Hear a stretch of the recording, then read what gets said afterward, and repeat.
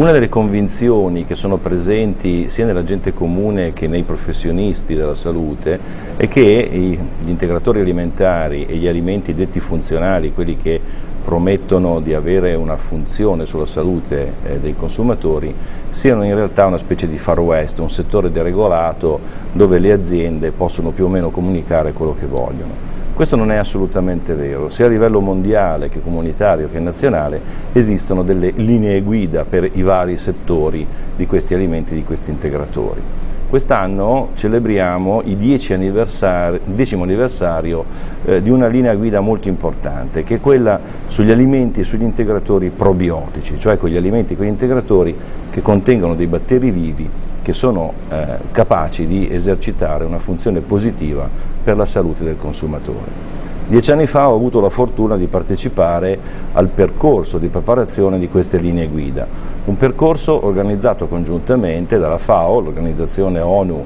che eh, si occupa di alimentazione, e dall'OMS, altra organizzazione ONU che invece eh, governa il mondo medicinale. Attraverso un percorso che si è svolto fra l'Argentina, il Canada e Roma, un gruppo di esperti che nel nel momento di massimo lavoro ha raggiunto la quindicina, ha stilato delle linee guida piuttosto importanti che sono scaricabili tra l'altro dai due siti sia della FAO che dell'OMS e che regolamentano sia la caratterizzazione, l'identificazione dei batteri che devono comporre questi prodotti, sia anche delle regole per andare a dimostrare l'efficacia dei prodotti stessi. È importante che ci siano queste linee guida perché eh, in questo modo i paesi che aderiscono all'ONU possono a loro volta derivare delle linee guida nazionali. L'Italia tra l'altro è stato il primo paese al mondo a tradurre per il proprio territorio queste linee guida che hanno valenza mondiale in una serie di documenti nazionali. Eh, il primo documento del Ministero della Salute è datato 2005, poi ci sono state diverse riedizioni e eh, sta per uscire la terza eh, revisione di questi documenti. Anche questo documento è scaricabile dal sito del Ministero della Salute. Che cosa dicono queste linee guida? Dicono sostanzialmente che i prodotti probiotici hanno il potenziale per svolgere delle azioni positive per la salute del consumatore. Queste azioni positive sono legate a uno specifico ceppo batterico, quindi non tutti i batteri, non basta essere un fermento lattico per poter avere un'azione positiva, bisogna essere uno specifico ceppo e queste azioni positive sono legate all'individuo batterico. Ad esempio una delle affermazioni più forti che fanno le linee guida è che non si possono traslare le dimostrazioni di efficacia fatte su un prodotto ad un altro prodotto anche se questo prodotto contiene dei batteri molto simili. Batteri molto simili ma non identici hanno azioni diverse.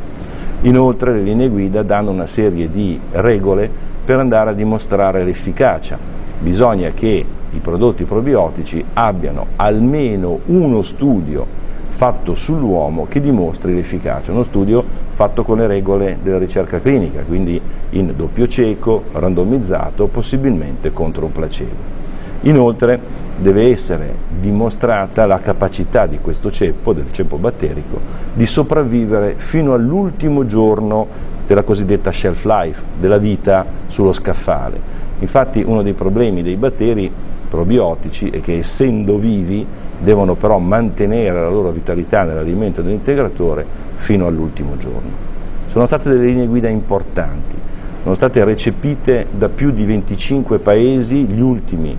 a recepirle nel senso dei più recenti sono stati gli indiani, ma in mezzo c'è stato il governo canadese, la Food and Drug Administration, quindi diversi paesi importanti si sono adeguati a queste linee guida. Linee guida che sono state poi riaggiornate nel 2006 e che continuano ad avere un forte impatto su quello che è il mercato e l'utilizzazione dei prodotti probiotici. Allora per i professionisti della medicina, per le persone a cui si rivolgono i consumatori o i pazienti, è importante avere conoscenza di queste linee guida, confrontarsi con esse, anche perché ad esempio uno degli errori che si fanno è quello di utilizzare i batteri probiotici anche in situazioni patologiche estremamente complicate, estremamente gravi, quando eh, in realtà i probiotici sono stati studiati anche per la loro sicurezza solamente in persone sostanzialmente sane, con disturbi diciamo, di tipo minore, ma non certamente in patologie gravi.